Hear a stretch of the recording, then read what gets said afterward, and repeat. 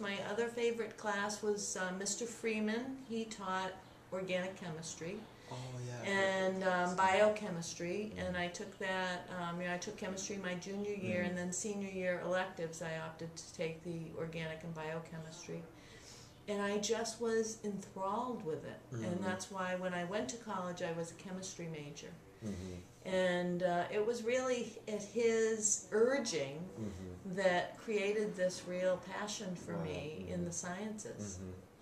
So he was he was a great guy, and in fact, one day we went to Mr. Freeman's um, house and we loaded up on a big protein meal, and uh, the purpose being the next morning we're to bring in a urine sample so that we could extract urea from our urine. And uh, my partner Hossein, we had a lot of uh, very big population of Iranian Okay, students at the mhm. time. Hossein was my partner. He was a great guy, Mhm. and we all wondered if it really was Mountain Dew in that bottle or if it was really urine. And how did he get it into such a small hole? Oh. so that was the big joke. Uh-huh. Um, but you know, we did experiments Mhm. like that. I think one day somebody blew something up, and it made the whole of Kingsley smell like a big, Mm-hmm. you know, Mm-hmm. sour egg. And um, oh, he So was great. great. He was a lot of people's favorite.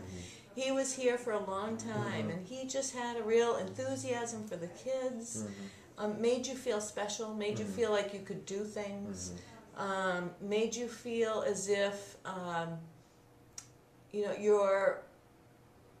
You could think. Be, you could Right. think beyond what you Mhm. thought you were capable, Mhm. and that's what inspired me. You know, to go more into the medical area when I studied in college. That's